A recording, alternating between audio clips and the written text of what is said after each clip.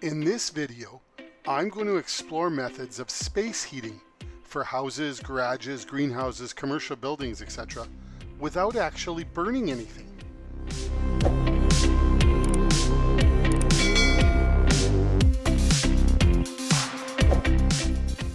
Fire has revolutionized human evolution, and from the time of cavemen huddled around a campfire to stay warm, to current natural gas and propane furnaces that heat most of our houses and commercial properties, indoor space heating is primarily done via fire.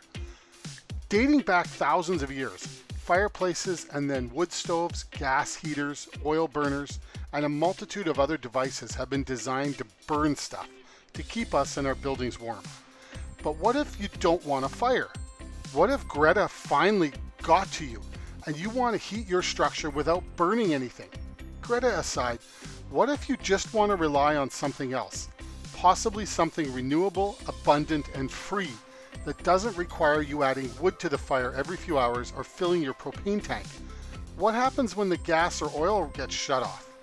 This video will explore several ideas on how to heat your house or structure without burning anything.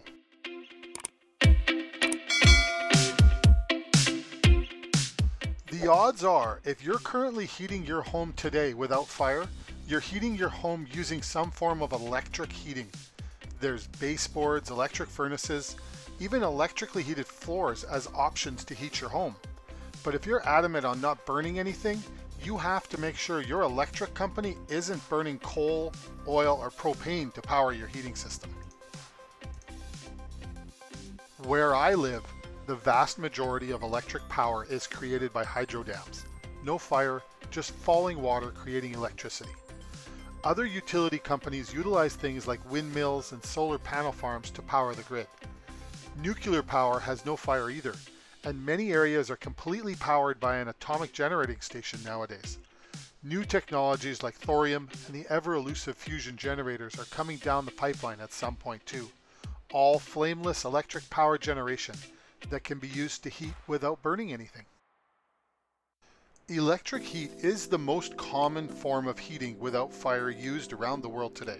It's safe, easy to use, and quick to install. The biggest drawback is cost. Even in areas with cheap electricity, the cost to heat a home with electricity is usually one of the most expensive options. Convenience comes with a price tag. Let's look at some other options to heat without burning anything that are usually way more affordable. In today's world, if you're not using electric heat and you're heating without fire, the odds are you're heating your home with a geothermal heat pump. These are relatively new systems that take the heat from the ground, amplify it, and then use that heat to warm your home. They are efficient and affordable to operate, especially in larger homes needing a lot of heat. They require an excavator or a big drilling rig to get down into the ground deep enough to find the ambient year-round temperatures and run pipes through that so as to transfer that heat into your home through a system designed to extract that heat. And some areas are better for ground heat than others. If the ground doesn't provide enough heat, electricity is usually used in some way to make up the difference. Most systems need a boost, but a high heat geothermal system example would be Iceland. Most of the homes in Iceland are heated by hot water, warmed by the lava in the ground, which is close to the surface. There are water pipes running to every home and back to the central heating plant because of the relatively cheap heat available from the ground. But not everyone is sitting on top of a volcano or willing to relocate to one. Some say solar heating shouldn't be included in the list of ways to heat without fire. I mean, the sun is a big burning ball of fire, isn't it? Does the sun's distance from Earth exclude it from the list of fire-based heating sources? It's still burning. Well, if we're going to be strict and exclude burning as a potential heating source, then the sun can't be excluded. Wait, what? The sun isn't fire. Nope. The sun is not burning. You need oxygen to burn, and there's no oxygen in space. The sun is a fusion nuclear reactor, not a fireball. The flames you see are actually big bursts of plasma ejecting out into space, not fire. Just a lot of hot plasma that's a byproduct of the fusion reactions going on inside the sun. Most homes experience some degree of passive solar heating. Just having a south-facing window in the wintertime allows sunlight to penetrate your home and heat up most anything it touches.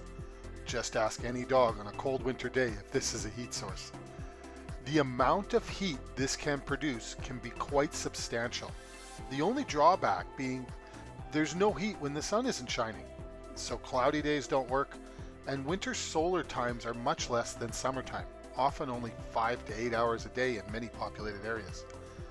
But all things considered, new green buildings orient themselves so as to get as much solar gain as possible in the winter to reduce heating costs because this form of heating without fire does work, even if only used as supplemental heat. I've talked about solar thermal with an earth battery on this YouTube channel a few times. Solar thermal is basically collecting the heat from the sun during the summer and using that heat to warm your house in the winter. When people think about solar energy, they usually think about photovoltaic solar panels for electricity. But the sun gives off more than two times the amount of energy per square foot in heat. Solar thermal captures and collects that heat and uses an earth battery to store it. New developments like Drake Landing in Alberta, Canada are able to provide 100% of their heating energy from this kind of technology without burning anything. Although ancient, compost heating has made a bit of a resurgence in the last few decades. Put in simple terms, compost heating is the heat given off by rotting organic material. Ever put your hand in a pile of leaves that's been left for more than a week or two?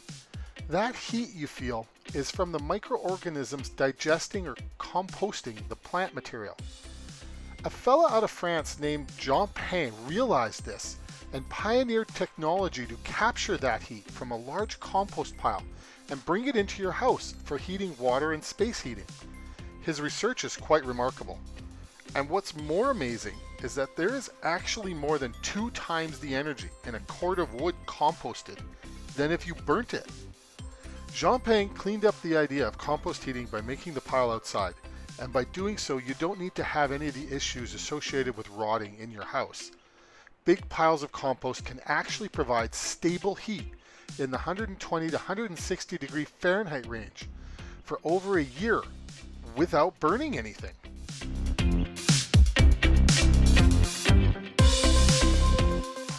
Something few people realize is body heat can be a viable heating source. I'm going to break body heat down into two parts. One is the heat radiating out from a body, the other is air exhaled, warmed by the internal organs of an animal. Most barns aren't heated for a reason. Animal bodies can give off a lot of heat. The barn itself exists mostly to break the wind.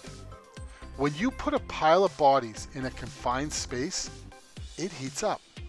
The air exhaled is warmed by the internal temperatures of the animal's bodies, and that warmed up air accumulates and eventually heats everything up. It's not just animals either, it works with humans as well. A nightclub packed with patrons will often have to turn the air conditioning on in the middle of winter because the body heat and exhausted air from the patrons will heat the club up to the point of making everyone sweat from the heat. If using this concept to heat your home, keep in mind that the smaller the space, the better. It's a viable alternative heating source, especially for the new trend of tiny home living, without burning anything. I know of three other kinds of heating, but I'm unaware of any practical home heating applications for them. The first is friction heat. Just rub your hands together fast to experience this kind of heat. It works. The second is chemical heating. An example would be the little hot pockets you can put in your winter gloves to warm them up for hours.